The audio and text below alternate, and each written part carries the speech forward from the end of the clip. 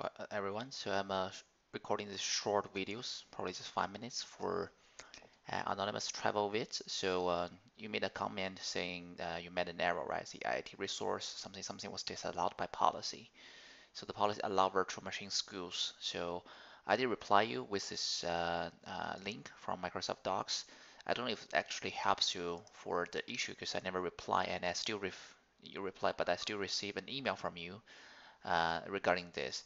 So I would imagine uh, you didn't get this to fix. So just to quickly show you that, just to confirm, this will be the issue you are getting, right? Resource something was disallowed by policy, something something, right? Uh, initiative policy. You should have something like this, right? Allow virtual machine uh, SKUs. I would imagine this is something you get. So uh, if you go to the link I have provided to you, which is this one, the sample here, right? So uh, your IT has initiated or uh, this policy in your account, uh, uh, you know, regarding the subscription you have. So he must have run the script here. So I have run the same script. So uh, blah blah blah. So I have run the script. So you're getting uh, that's what you get, right? Uh, new AZ policy assignment plus definition, the one above, and the scope for that is putting the subscription for for that one. So you might have multiple subscription under one tenant, right? Uh, the short tenant. So maybe the policy is on this subscription, but not the on the other one. And he put the list of allowed SKUs for virtual machine is I put the whole class B here, right? But it depends on uh, your IT. So maybe you cannot create a class B, but you can create create class D, for example. So and also they can set the same uh, one for storage account as well. Right, so he must have enforced this policy. That's why you are getting the error we saw in here, right? So when once you click uh, review and create or just create, it will pop, pop up this error, right? But if you we change this right to let's see I I choose this to be uh where's my uh, virtual machine name resource group region image size yeah sorry here I choose D right? I choose D and review and create.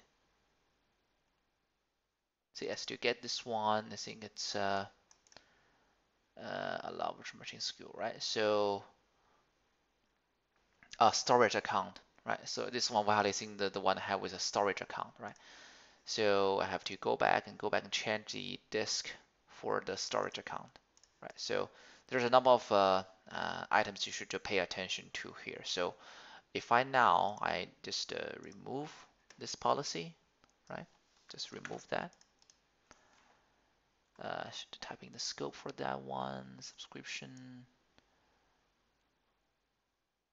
See.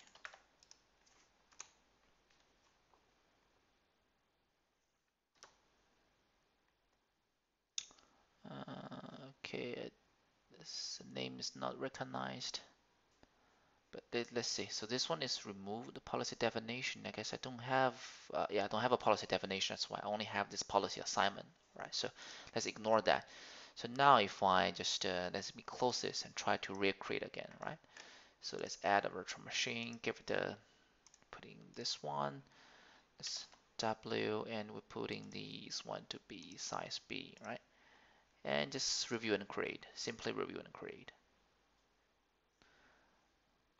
uh, I have something missing here. Okay, so my bad. Forgot the most important thing, right?